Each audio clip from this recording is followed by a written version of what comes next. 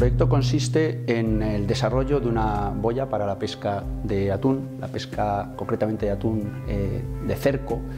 eh, una boya que sea discriminante. Esto es, eh, una tecnología que lo que nos permita es mm, conocer, antes de hacer los lances, de, digamos, de, cerrar la red de cerco, conocer qué especies y qué tamaños de atún hay debajo del, objeto en el que se va a pescar. Esto es un avance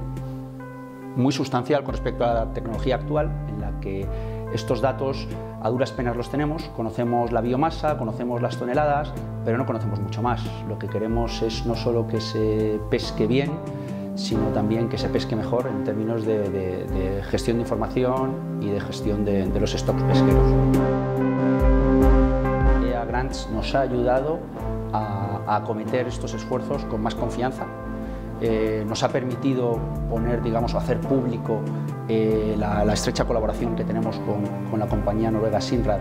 no ya para este desarrollo en concreto, sino como consecuencia de los 10 años que llevamos trabajando con ellos.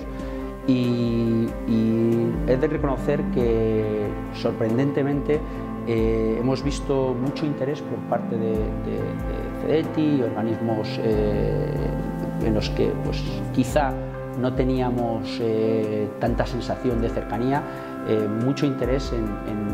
conocer nuestra tecnología, en conocernos a nosotros. Ha sido un apoyo tanto financiero